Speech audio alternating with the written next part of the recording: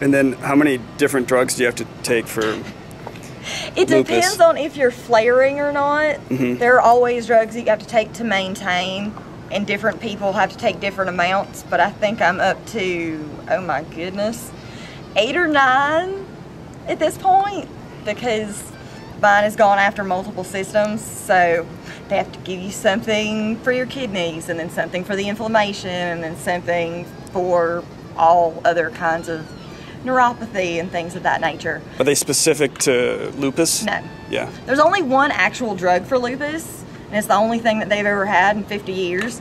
They use malaria medication a lot. Huh. So, you know, mosquitoes, lupus. Right. Apparently, it all goes together. And then what are the name? What are the names of some of the?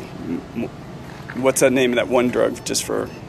That just Oh. specifically for lupus. Benlysta Benlysta. or Benlysta. I yeah, Yeah. Benlysta, Benlysta, whichever. Cool. I've never had it. Apparently, it's magical sometimes.